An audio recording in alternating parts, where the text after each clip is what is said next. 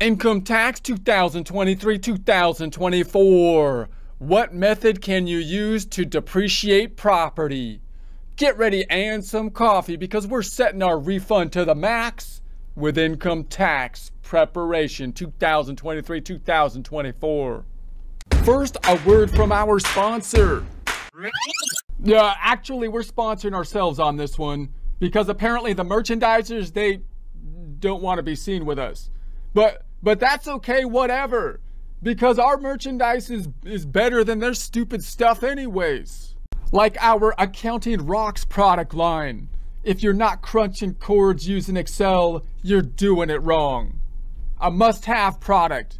Because the fact, as everyone knows, of accounting being one of the highest forms of artistic expression means accountants have a requirement, the obligation, a duty to share the tools necessary to properly channel the creative muse.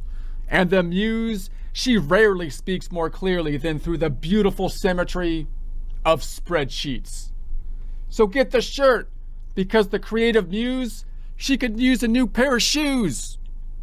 If you would like a commercial-free experience, consider subscribing to our website at accountinginstruction.com or accountinginstruction.thinkific.com. Most of this information can be found in Publication 946, How to Depreciate Property, Section 179, Deduction, Special Depreciation Allowance, MACRS, Listed Property, and more, Tax Year 2023, which you can find on the IRS website at irs.gov, irs.gov. Looking at the income tax formula, remembering the first half of the income tax formula, basically a funny income statement. Most income statements having income minus expenses resulting in net income. Here having income minus various deductions resulting in taxable income. The sole proprietorship Schedule C rolling into line 1 income of the formula. The Schedule C itself also in essence being an income statement having business income minus business expenses which could be called business deductions resulting in in essence net business income. That net income rolling in from Schedule C to line 1 income of the formula the formula representing the calculation on Form 1040, this being the first page of the 1040, Schedule C ultimately rolling into line 8, additional income from Schedule 1. This is the Schedule 1, additional income and adjustments to income Part 1, additional income, Schedule C rolling into line 3, business income or loss, here is a profit and loss. Schedule C form has an income statement or P&L profit and loss format income minus expenses. The expenses typically being the largest category with the most things in it, some expenses being more complex than others, such as depreciation, where, as we discussed in prior presentation and will continue discuss here, even if we're on a cash-based system, we might have to put depreciable property such as property, plant, and equipment on the books as an asset, with which, with regards to a Schedule C, isn't a balance sheet typically, but rather another schedule, a depreciation schedule, and then allocate the cost of that property to the years that we consume it. And that's going to be the concept of depreciation. All right, so what methods do we use? Now, as we get into these methods, you always want to compare the depreciation methods to the default method of depreciation the straight line method. That's the most intuitive method. In other words, if I had a 10,000 piece of property, $10,000 piece of property, it I think it's going to last 10 years.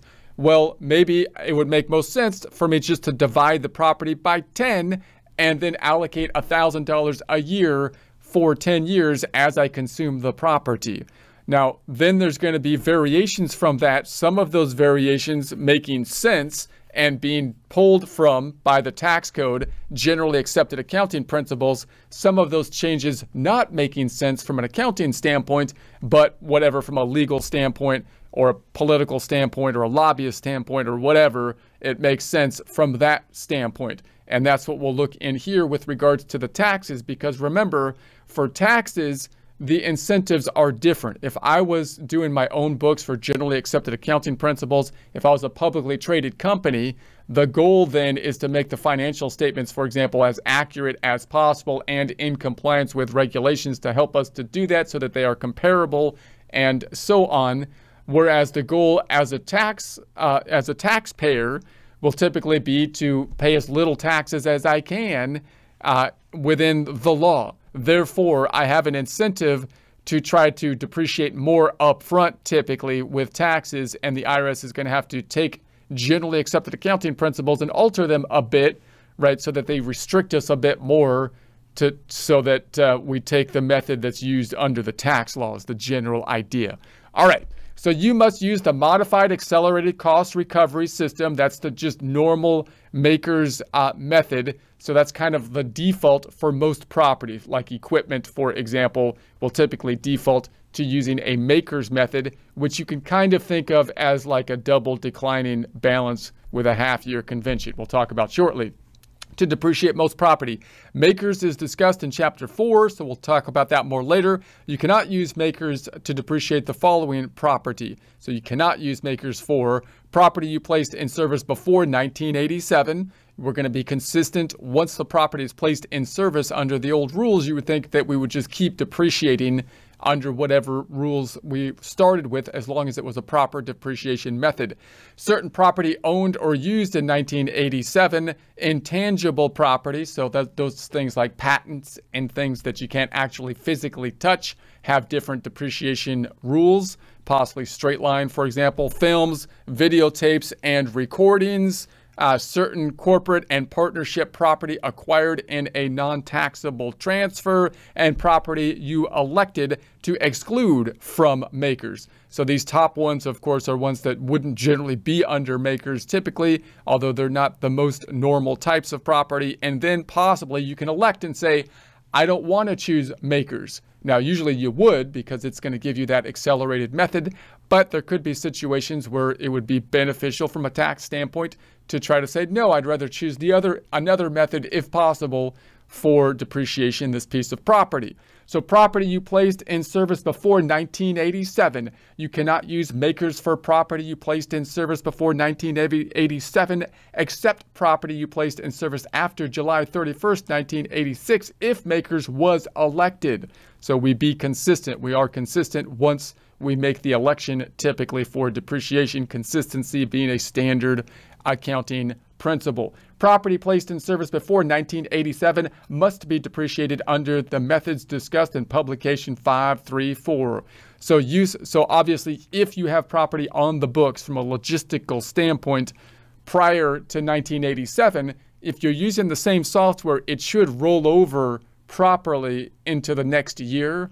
And so it, it shouldn't be something you have to figure out too much because it's already on the books properly categorized from a depreciation standpoint, and the software will hopefully help you to move it uh, forward. But of course, if you have questions about that property, which still could be impacting current years because of this long term depreciation thing, then you can look at publication 534.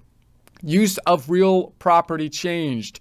So you must generally use MACRS to depreciate real property so we're talking like real estate, for example, that you acquired for personal use before 1987 and changed to business or income producing use after 1986. So that gets a little bit confusing because now we have this situation where we have the change of the property from personal to business. And as we saw, that can cause some confusion because of what's the cost that I should be transferring from personal to business since I didn't just purchase it on a market transaction and what then are the related depreciation rules for that property.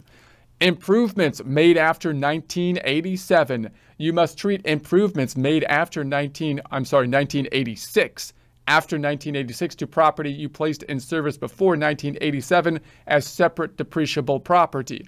So in other words, this typically is the case with real estate property, for example. We have it on the books, we can imagine, before 1986, and therefore are using the prior rules for the depreciation of the property, possibly.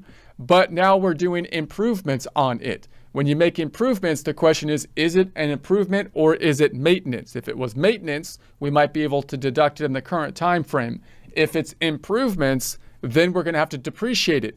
Then the question is, well, if I depreciate it, do I have to use the prior depreciation rules because that's what the depreciation rule for the building is?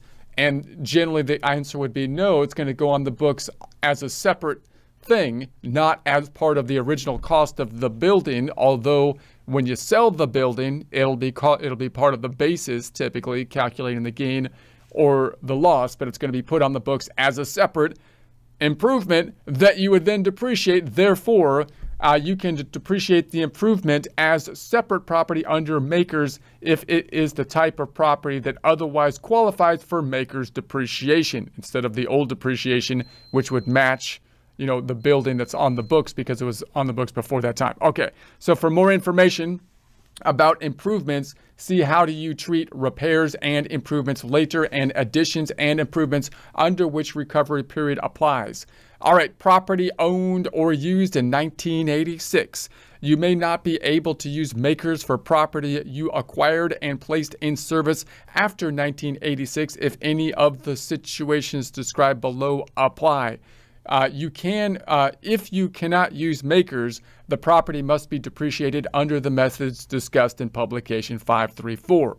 So you or someone related to you owned or used the property in 1986. So we have this related person thing. Clearly that often causes a problem because you don't have the the market arm's length transaction when you're talking about related persons.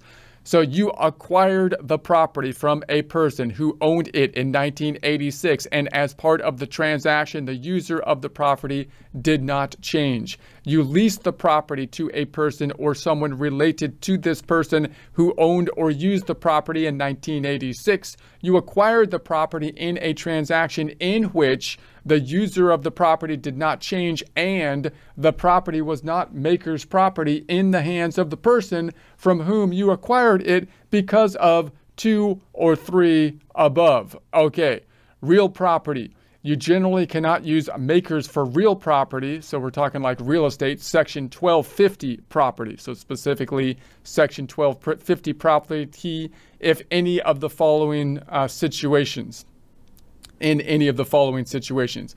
You or someone related to you own the property in 1986. Once again, you leased the property to a person who owned the property in 1986 or someone related to that person.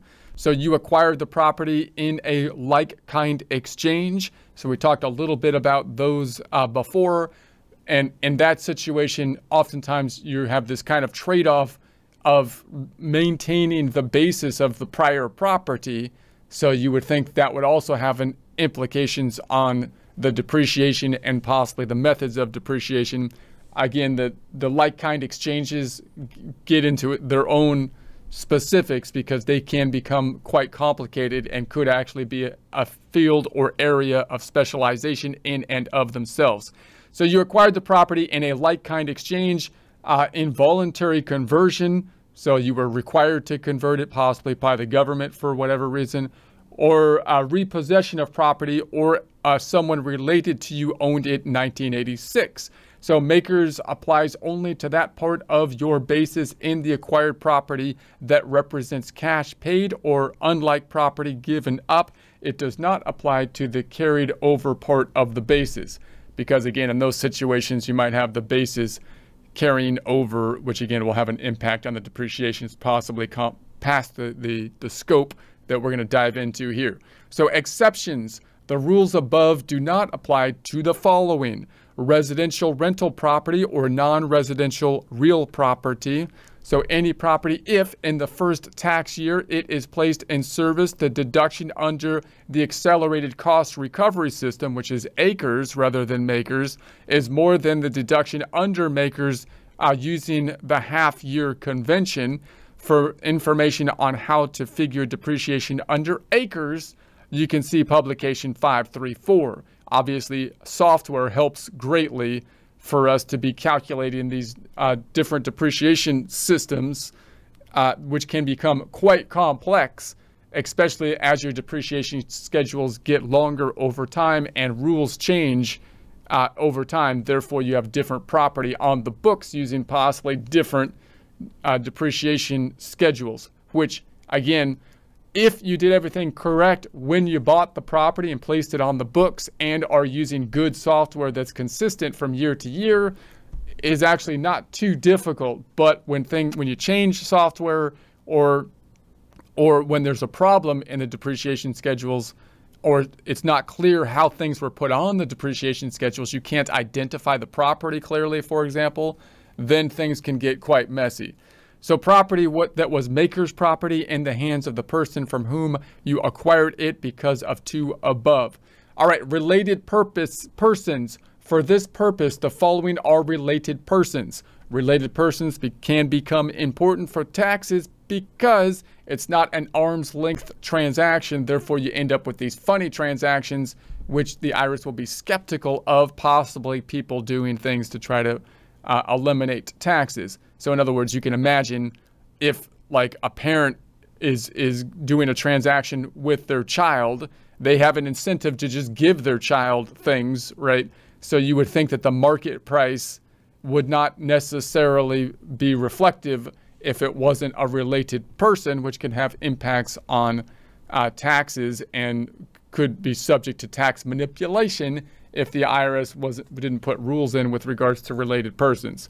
All right, number one, an individual and a member of their family, including only a spouse, child, parent, sibling, half sibling, uh, ancestor, and lineal descendant. Number two, a corporation and an individual who directly or indirectly owns more than 10% of the value of the outstanding stock of that corporation.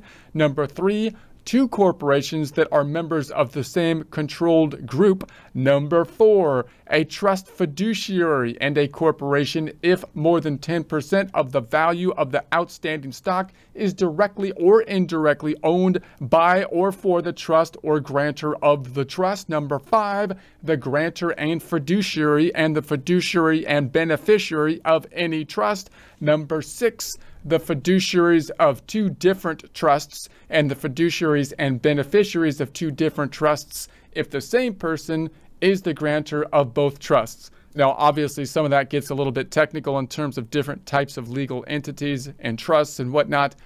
That's beyond the scope here, so we'll just mention them and keep moving forward. So seven, a tax exempt additional uh, educational or charitable organization and any person or if that person is an individual, a member of that person's family who directly or indirectly controls the organization. Number eight, two S corporations and an S corporation and a regular corporation if the same persons own more than 10% of the value of the outstanding stock of each corporation. Number nine, a corporation and a partnership if the same person own both of the following. A, more than 10% of the value of the outstanding stock of the corporation. B, more than 10% of the capital or profit interest in the partnership. 10, uh, the executor and beneficiary of any estate. 11, a partnership, and a person who directly or indirectly own more than 10% of the capital or profit interest in the partnership. 12. Uh, two partnerships if the same person directly or indirectly own more than 10% of the capital or profit interest in each. 13. The related persons and a person uh, and a person who is engaged in trades or businesses under common control. Okay, so, when to determine a relationship? So, you must determine whether you are related to another person at the time you acquire the property. So, a partnership acquiring property from a terminating partnership must determine whether it is related to the terminating partnership immediately before the event uh, causing the termination. Constructive ownership of stock or partnership interest to determine whether a person directly or indirectly owns any of the outstanding stock of a corporation or an interest in a partnership, apply the following rules. Stock or a partnership interest directly or indirectly owned by or for a corporation, partnership, estate, or trust is considered owned proportionately by or for its shareholders, partners, or beneficiaries. However, for a partnership interest owned by or for a C corporation, this applies only to shareholders who directly or indirectly own 5% or more of the value of the stock of the corporation. An individual is considered to own the stock or partnership interest directly or indirectly owned by or for the individual's family. An individual who owns, except by applying Rule 2, any stock in a corporation is considered to own the stock directly or indirectly owned by or for the individual's partner. Uh, for purposes of Rule 1, 2, or 3, stock or a partnership interest considered to be owned by a person under Rule 1 is treated as actually owned by that person. However, stock or a partnership interest considered to be owned by an individual under Rule 2 or 3 is not treated as owned by the individual for reapplying either Rule 2 or 3 to make another person considered to be the owner of the same stock or partnership interest. In other words, this can get quite complex if you have many different structured entities that are set up to determine the level of ownership to be applying these very kind of specific type of rules with regards to the level of ownership to be a related party. All right, intangible property. So generally, if you can depreciate intangible property, you usually use the straight line method of depreciation. So we, we've been saying that most of the time we use MACRS for many types of things like machinery, uh, property, plant, and equipment generally. But if it's intangible, these are usually things that are property due to legal rights, such as a, a patent or something like that. If you can depreciate it, usually you're going to use the good old straight line method, nice and easy. However, you can choose to depreciate certain intangible property under the income uh, forecast method discussed later. Caution! So you cannot depreciate intangible property that is a Section 179 intangible or that does not otherwise meet all the requirements discussed earlier under what property can be depreciated. All right, straight line method. This is basically the default method. So it's not usually the method that you're going to be used all the time, except for some of these intangibles possibly. But it's also the starting method that you want to kind of think about when you then get to these more complex methods, such as the MACRS method, which basically uses an accelerated method like a double declining, which makes sense from an accounting standpoint as well, because from an accounting standpoint, you might say, hey, look, it makes sense for me to depreciate my forklift more in year one than year five because the value goes down faster in year one. Uh, and then the tax code deviates from that kind of accounting method strategy that makes sense with things like 179 deduction and so on. Okay, so this method lets you deduct the same amount of depreciation each year over the useful life of the property. So if it was a $10,000 piece of property, it was had a 10-year useful life, you just take 10,000 divided by 10 and depreciate 1,000 for 10 years. To figure your depreciation, first det determine the adjusted bases, salvage valued, and estimated useful life of the property. Subtract the salvage value, that's the value that we think the property might be worth at the end of the useful life. So if I had my 10,000 piece of property, but I think after 10 years, after it's used up, I'm going to still have salvage value of 2,000, then the value once it's used up will still be 2,000 and therefore I should depreciate the 10,000 minus the 2,000 in general. So subtract the salvage value, if any, from the from the adjusted basis. The balance is the total depreciation you can take over the useful life of the property.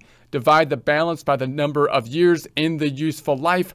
This gives you your, your yearly depreciation deduction. Unless there is a big change in adjusted basis or useful life, this amount will stay the same throughout the time you depreciate the property. If in the in the first year you use the property for less than a full year, you must uh, prorate your depreciation deduction for the number of months in use. So one of the complications that comes up with straight line as well as other depreciation methods is, well, how much should I depreciate in the current year? With straight line, we're, we're typically looking uh, prorate for the number of months in use. So you might be tying it to the number of months. For MACRS, oftentimes we're going to use a mid-year convention basically assuming we bought it in the middle of the year or possibly a mid quarter or mid month convention, which we'll talk more about later.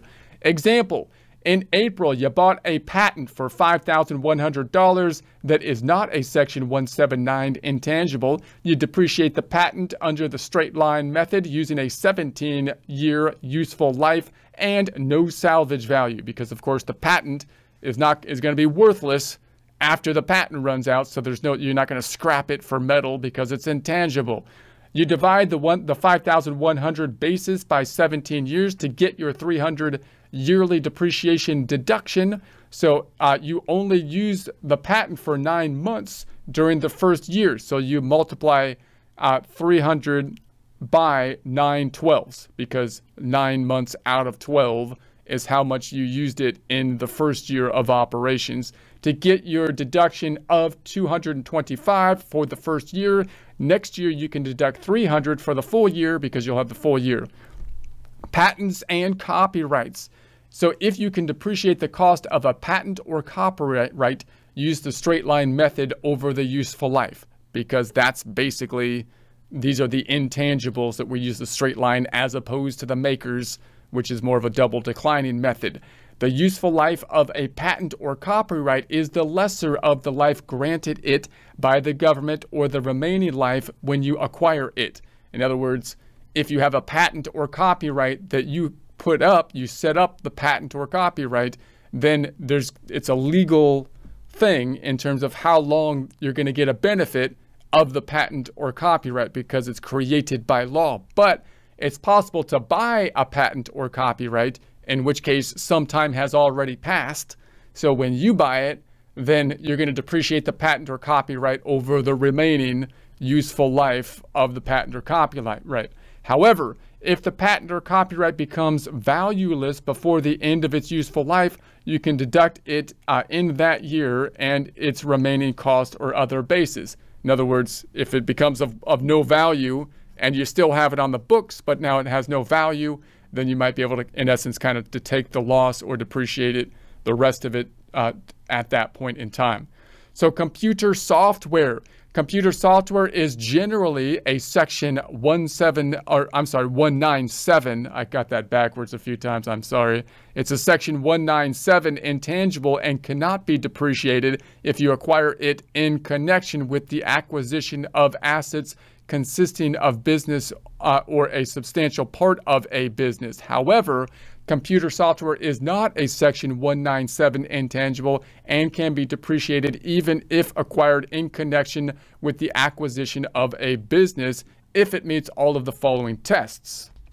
Uh, it is ready, available for purchase by the general public. It is subject to a non exclusive license.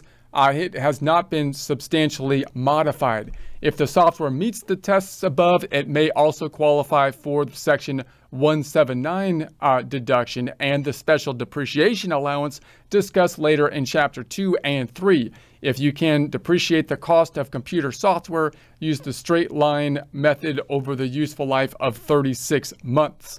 All right, tax exempt use property subject to a lease.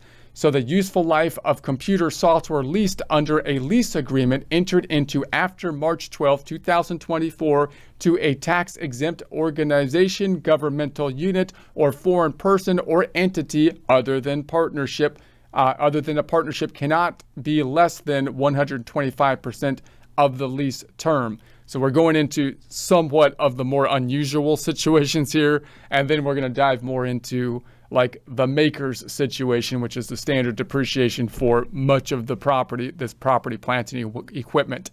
Certain created intangibles. You can amortize certain intangibles created on or after December 31st, 2003 over a 15 year period using the straight line method and no salvage value, even though they have a useful life that cannot be estimated with reasonable uh, accuracy. For example, amounts paid to acquire memberships or privileges of uh, ident- uh, indefinite duration, such as a trade association membership, are eligible costs. So we saw with the patents, we know exactly how long to depreciate it because it's a matter of law. But sometimes we don't know, so we might use the method that they allow us to have, 15 year period. So the following, so uh, so we have this such as trade association. So the following are not eligible. So any intangible asset acquired from uh, another person, uh, created financial interests, any intangible asset that has a useful life that can be estimated with reasonable accuracy. In other words, you wouldn't use the 15 years, you'd probably use that useful life. Any intangible asset that has an amortization period or limited useful life that is uh, specifically prescribed or prohibited by the code, regulations, or other published IRS guideline any amount paid to facilitate an acquisition of a trade or business, a change in the capital structure or a business entity, and certain other transactions. All right, you must also uh, increase the 15 year safe harbor amortization period to 25 year period for certain uh, intangibles related to benefits arising from the provision, production, or improvement of real property. So, real estate situations typically have longer uh, useful lives, uh, oftentimes. So, for this purpose, real property includes property that will remain attached to the real property for an indefinite period of time, such as roads, bridges, tunnels, pavements, and uh, pollution control facilities. Income forecast method. You can choose to use the income forecast method instead of the straight line method to depreciate the following depreciable intangibles so we have motion picture films and videotapes, sound records, copyrights, books, and patents. Under the income forecast method, each year's depreciation deduction is equal to the cost of the property multiplied by a fraction. The numerator of the fraction is the current year's net income from the property, and the denominator is the total income anticipated from the property through the end of the 10th tax year. Following the tax year, the property is placed in service. So that's a somewhat of an unusual, pretty unusual situation. But if you're in that situation, more information, you can see section 167G of the IRS Internal Revenue Code films, videotapes, and recordings. You cannot use MACRS for motion picture films, videotapes, and sound recordings. For this purpose, sound recordings are discs, tapes, or other phonograph uh, phone phono recordings resulting from the fixation of a series of sounds. So you can depreciate these properties using either the straight line method or the income forecast method uh, participations and residuals. You can include participations and residuals and the adjusted basis of the property for purposes of computing your depreciation deduction under the income forecast method. The participation and residuals must relate to income to be derived from the property before the end of the 10th tax year after the property is placed in service. For this purpose, part, uh, participations and residuals are defined as costs which by contract vary with the amount of income earned in connection with the property. So instead of including these amounts in the adjusted basis of the property, you can deduct the cost in the tax year that they are paid. So election to exclude property from MACRS. So now you have a situation where MACRS will typically apply, and that's usually what you would want to use because it's an accelerated method, but possibly you elect not to, to use the MACRS. So if you can properly depreciate any property under a method not based on a term of years, such as the unit of production method, you can elect to exclude that property from MACRS. So in other words, the MACRS is kind of like an accelerated depreciation method. So it's like a straight line, but we depreciate more upfront. The straight line method and MACRS, as you can see, therefore, are kind of dependent on time intervals, meaning we have property we judge how long it's going to last in years and depreciate it over that number of years or months, right? But you could say maybe that's not the best way to do it. For like a car, for example, I might depreciate it over the lifetime of miles that I think the car is going to drive. Or if I have a piece of machinery that makes widgets, I might better want to depreciate it by the number of widgets that I think it's going to make in its lifetime and then depreciate it by, by widgets made, which would be a unit of production method, which is probably better in some situations and more accurate, possibly. So you make the election by reporting your depreciation for a property on line 15 and part 2 of form 4562 and attaching a statement as described in the instructions for form 4562. Again, in my experience, I haven't seen that happen too much, but in certain industries, that is something that could certainly come up. So you must make this election by the return due date, including extensions for the tax year you place your property in service. However, if you timely filed your return for the year without making the election, you can still make the election by filing an amended return uh, within six months of the due date. So remember, consistency is important with the tax code because we obviously, once we're locked into the depreciation method, have to be consistent with it. What if you messed up? well, then maybe you can go back and amend it. But the statute of limitations, the time frame in order to allow you to do that could be severely limited. So attach the election uh, to the amended return and write, quote, filed pursuant to section 301.9100 uh, slash 2 on the election statement. File the amended return at the same address you filed the original return. Use of standard mileage rate. So if you use the standard mileage rate to figure your tax deduction for your business automobile, you are treated as having made an election to exclude the automobile from MACRS. This is clearly the most common exclusion from MACRS. In other words, the automobile uh, would be a property, plant, and equipment, which if we were using the actual method as opposed to the mileage method. If we were using the actual method, we would have to depreciate it, typically using MACRS, which might then be limited with some auto limitations uh, with regards to things like the 179 and how much we can depreciate in year one and so on. But if we elect not to do that because we're going to use the mileage method, the use of the mileage method is basically an election to not have the standard depreciation because within the mileage method is embedded the the idea or cost of the depreciation kind of included in that one lump sum number. So you can see publication 463 for details of the standard mileage rate.